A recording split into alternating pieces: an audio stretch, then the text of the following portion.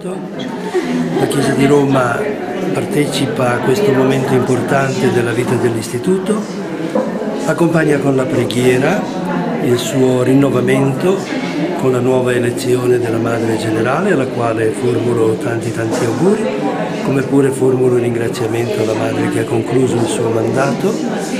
e nelle chiese locali, come ho già detto nell'omelia, auguro alle canossiane di essere presente come segno di Cristo, inculturarsi con coraggio, con grande fiducia, guardando alla comune meta, seguire il Signore, morire come ci dice Gesù nel Vangelo, sapendo che il Padre ci guarda e ci vuole bene.